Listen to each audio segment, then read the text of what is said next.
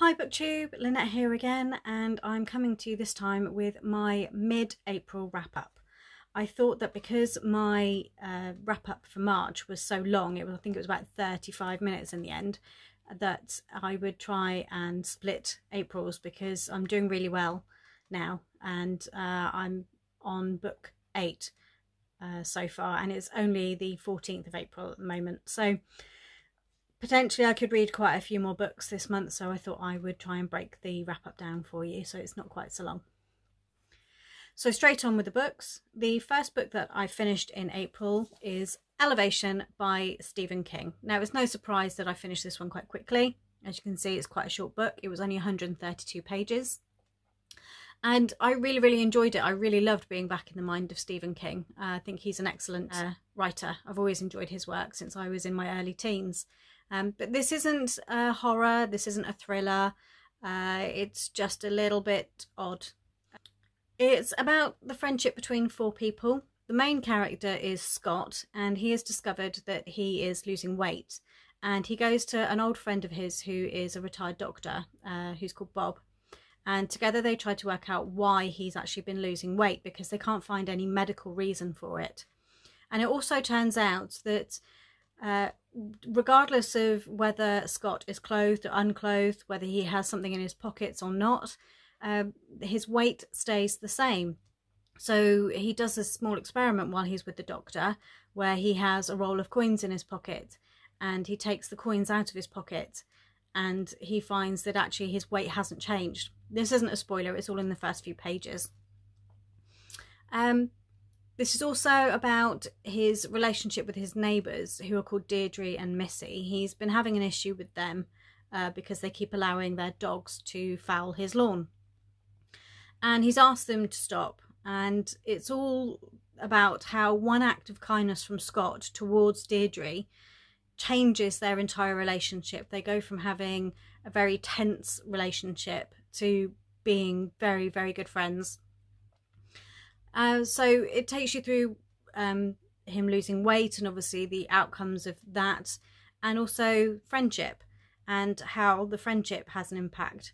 Uh, like I say, it's a very short book. There's not lots of detail. If I told you any more, I'd be giving the story away.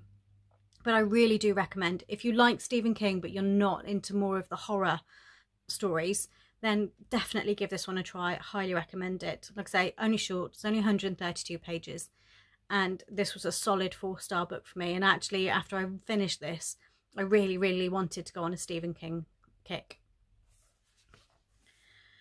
So the next book that I finished at the start of April was Harry Potter and the Deathly Hallows. I've talked about this before, I've been rereading the series since the start of the year and this was the final book in the series.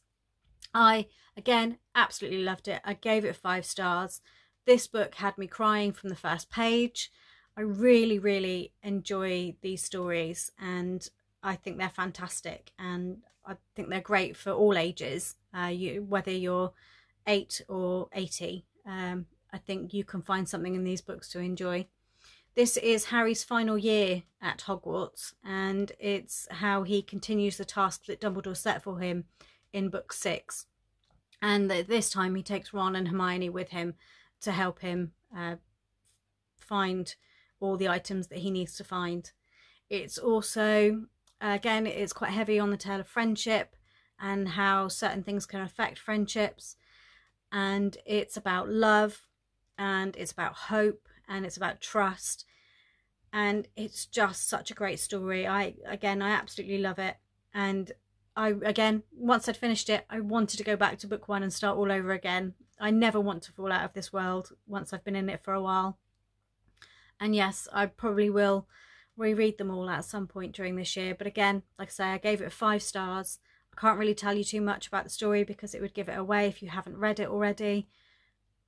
But if you've if you've got if you like wizards and magic and the fantastical, then give these books a try if you haven't. If uh, if you've read them before and you haven't reread them for a while, I highly recommend rereading them, especially at the moment if you're feeling a bit slumpy um, because they will be great books to get you out of it. So from there I moved to ebooks and the next book that I finished is The Dragon's Pursuit by Jessie Donovan. This is set on her Lochguard Highland Dragons series um, in the Scottish Highlands, and it's following the story of Chase and Layla. Chase has known for two years that Layla is his true mate. However, Layla doesn't know because the females don't tend to realise who their true mate is until the male identifies themselves to them. But Layla is a doctor. She is the only doctor on Lochguard lands and she is struggling uh, to fit everything in and so she sacrifices her personal life. Chase, as soon as he realised that uh, he was her true mate, started to try to court her but she was having none of it. So he's just insinuated himself into her life and he does little things for her and he's always there for her. And this then this story is the culmination of the two years hard work that chase has put in to prove that he is a stable reliable male that she can count on. However things happen in this book which mean that layla is uh, struggling and she needs chase more than ever. In fact she's having some thefts happen within her surgery and she employs Chase to install some cameras for her because he's the electrician on Lochguard and he helps her find out who the culprit is and why they've been doing it. And this culminates in a lot of other family issues for Layla.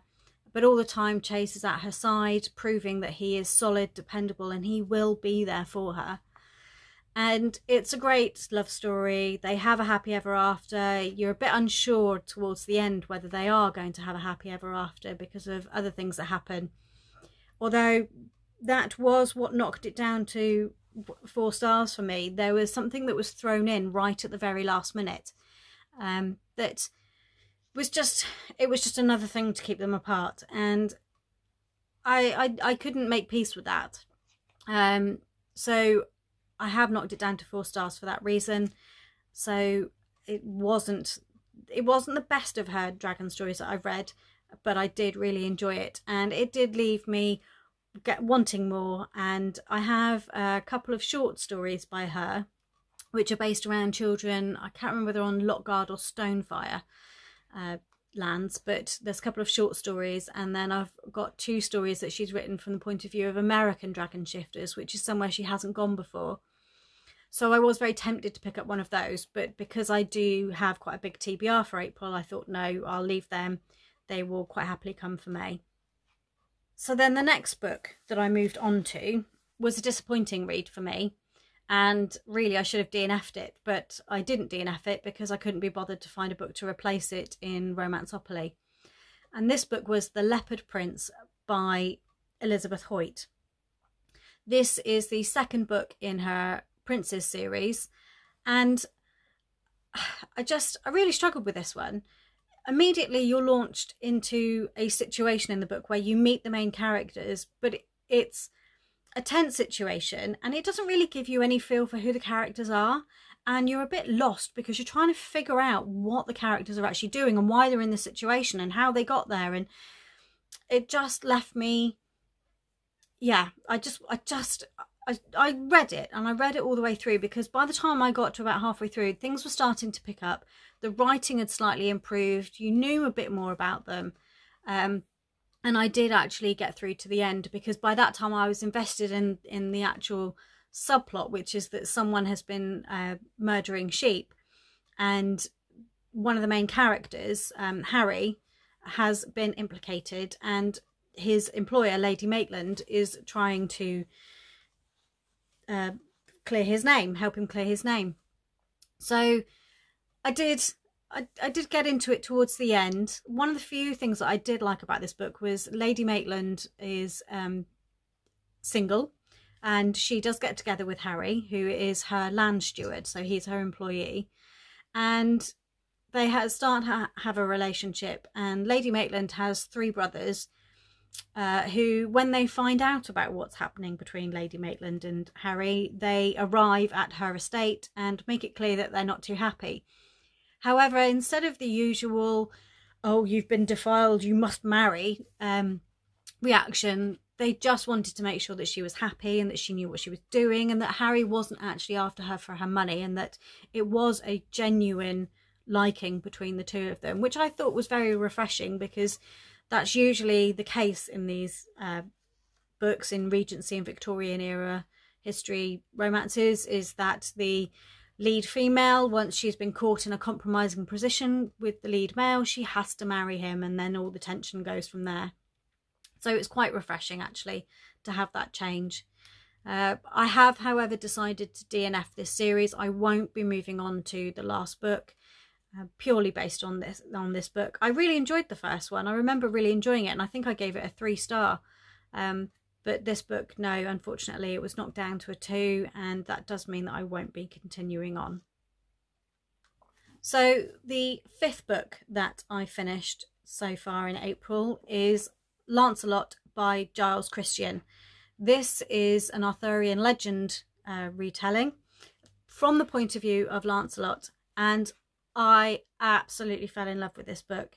It wasn't one that I actually picked up and devoured straight through. It was one that I read in pieces, but I really, really enjoyed it. And I think um, that's because I took my time with it and I took my time to read it. Um, but yes, it it was just so good. It starts out with Lancelot as a boy and it tells his story right the way through. So it's not about Arthur, it is all about Lancelot you do get some of the Arthurian legends in here, and you do get the uh, love triangle between Lancelot, Guinevere, and Arthur. I fell in love with Lancelot from the first page, and I I've always thought he's quite a compelling character, and I've always wanted to know more about him. So to see someone has actually gone into it and and written all this potential backstory, I don't know how much of it is truth. Um, I don't know how much of it is you know, because I've never actually looked that far into it. It's just something I've always been intrigued by. And I, I really, really enjoyed that. And the meeting of uh, Guinevere and Giles was harsh but quite sweet. And the friendship that grew between them, the fact that they, they were friends before they were anything else, um, made this so much more believable of their their love. It wasn't just. I think a lot of um, other stories that are out there portray it as lust at first sight, whereas this doesn't. This actually has two people getting to know each other and falling in love that way. And the actual lust at first sight was between Arthur and Guinevere, um, and love for them came later. But I also like how Giles Kristian, when he was then looking at the Arthurian legends, he hasn't written them as the legends we know. Uh, there is one specific legend that I can think of in here, which, if you thought of it today, there is a magical, fantastical element to it. But in this, he writes it as a real life happening. Um, and he, you, he then goes on then through um, the next stage of the book to say how that then became twisted into the legend that we know it is now. And I really liked that as well. I thought that was absolutely brilliant. Um, so I only gave this four stars. Uh, there was just something that stopped it from being five. At the end of it, I was left a little bit speechless. I didn't really know how to describe how I felt. Um, this will have gone up before, but I've actually been trying to vlog the Owls Readathon, uh, which for which this is one of the books I read. And I haven't actually been able to do an update since I finished it because I just didn't know what to say. Um, so I'm probably going to have to go on and, and, film that update a bit later today because I've read another book since then for the for the owls. Uh, but yes, thoroughly, thoroughly enjoyed it. If you like the Arthurian legends, I haven't read many, but I would recommend reading Giles Kristian. He's got another book due out, um, which I think is going to be called Camelot, and that is all about Galahad. Um, so I'm quite tempted to pick that one up, although that one will be in hardback and this one will be in paperback. I am quite tempted to pick that one up. Um, I might just get it on my e-reader and read it and then maybe pick up the, the, the paperback because I'd really love to have the two together. Um, they're stunning covers as well. This this cover is just gorgeous. It's actually gold. I don't know if it shows up very well in the camera, um, but it's absolutely brilliant and I really loved it. And yes, I'm definitely going to read more by Giles Kristian possibly Camelot next. I may go to his Viking series instead. Um, but yes, thoroughly, thoroughly enjoy it. Highly recommend it. The next book that I read was another short book, and this again was for the Owls Readathon. I'm sorry, I haven't really been saying what the books were for, but um, these books were all for Romanceopoly or uh, Owls Readathon. Um, but the next one, I went to a romance novel, proper romance novel, because Lancelot was a little heavy in places. Uh, so I did actually decide to read that one, um, read a romance novel after that one instead, uh, just to lighten it a little bit. And I actually devoured this one in just over an hour and a half um, in one evening, straight after I'd finished Lancelot, actually. And this book was The One You Want by Gena Showalter. This was a three star book for me. It's only 114 pages, but I just felt there was something a little bit lacking in it. I did enjoy it. I've read a little bit of Gena Showalter's work before, uh, which I've enjoyed. Um, but they aren't standout wow books for me. She's an author that I can probably pick up and leave as and when I feel like it.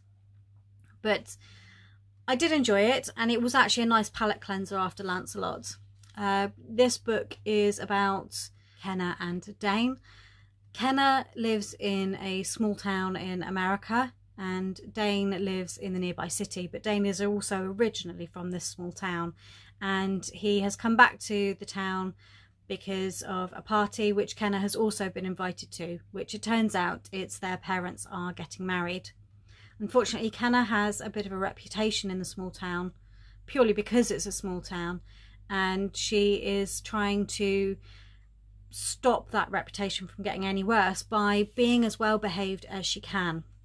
And Dane also harbours a little bit of ill feeling towards Kenna at first, um, but then he comes to realise that actually he needs to apologise to her. And he hears the rumours and decides that he needs to hear the truth from Kenna himself. And then from there, it's how they become involved and have a happy ever after. Uh, it's a stepbrother trope, um, which is one that I'm not normally very fond of. Can't really say very much about it. It was only 114 pages. To say too much would give the story away. But it is a sweet little love story. And it was, like I say, a nice palate cleanser after reading The Heaviness of Lancelot. And I would recommend it if you just want something quick and easy. Like I say, I got through it in about an hour and a half. And it was it was just it was just good. It was just okay. Um, hence the three stars, but not as bad as The Leopard Prince, which left me with a bad taste in my mouth. But yes, that's uh, that was the next book that I finished. Not very memorable, unfortunately, but yes, not too bad. The last book that I've read or finished so far in April is A Nordic King by Karina Halle. This is a romance novel set around the Danish royal family. This is about Aurora, uh, who has travelled to Denmark to be, to apply for uh, the job as nanny to the King of Denmark, Axel. And this gave me, I, I really enjoyed this book. This gave me really strong Sound of Music vibes, which is one of my all time favourite musicals. And I absolutely really loved that um, right from the start. And then towards the end, you start getting the fairy tale feeling um, of kind of Cinderella-ish vibes. So from start to finish, this was a really enjoyable book for me. Uh, I thought Aurora was absolutely brilliant. She wasn't afraid to stand up to Axel and, and tell him exactly where he was going wrong. And Axel wasn't afraid to take the criticism. Uh, he actually took it really, really well. And I thought, I just thought how it was brilliant how Axel's been quite closed off. Um, they both know that maybe a relationship between the two of them is not appropriate, but they work through it. And there are obstacles that are thrown up in their way, uh, which, to start with, initially, um, the the obstacle from Aurora's point of view, I thought that that would have a worse impact than it did. And initially, Axel's reaction was, I, I did think was going to go in a way that um, wouldn't I wouldn't have been happy with if he'd carried on that way. But actually, it, it turned around and it changed and I was really impressed with that. Um, again, it wasn't the typical reaction. Um, there were there were issues, and they worked through them, and they worked through them together. They one of them didn't go off in their own head and go, oh, you know, this is this is a problem. They talked to each other, and I thought that was so great and so refreshing. You don't see that often again. Um, and I was just really impressed by that. Really enjoyed it. And I really liked Karina Halle's writing style, so I'm pretty sure I will pick something else up by her in the near future. Um, maybe the end of the month, I'm not too sure. But I'm really, really excited to move on with more of her work, and she's definitely going to be an author that I look out for in future. So that's the first seven books that I finished in April. I have four books left now on my TBR for the month. Three of those are still for the Owls Magical Readathon. One of those is for the In Death Read Along. I have completed the Romanceopoly uh, squares that I'd set for myself um, for this month. So if I finish um, the three books, one of them is the four books rather. Um, one of them is one of them's going to be a little harder going. It's going to be take me a little longer to get through. Again, a bit like Lancelot, it's probably going to be one that I pick up in dribs and drabs. The other three are all romance novels, which I know I'm going to fly through. So I'm thinking that possibly uh, by the end of this week, possibly I'm going to end up with hardly anything left to read for the month of April. So I haven't yet decided how I'm going to manage that. Whether I'm going to carry on with books I've already started because I've got, um, I've definitely got The Great Hunt by Robert Jordan, which is up there somewhere. Uh, Why Mummy Drinks, which is there somewhere. And then I've got a couple of other books that I've started and maybe I should make a bit more of a, of a um, dent into before I go on to anything else. So I'm really not sure where I'm going to go from there or if I'll just do some more rolls on my Romanceopoly board and see if I can get ahead a little bit. Um, so yes, so that's the first half of April. Uh, I hope you've all managed to find your reading bug again and I will look forward to speaking to you in the next week or two with the wrap up for the rest of what I've read in April. See you all soon. Bye.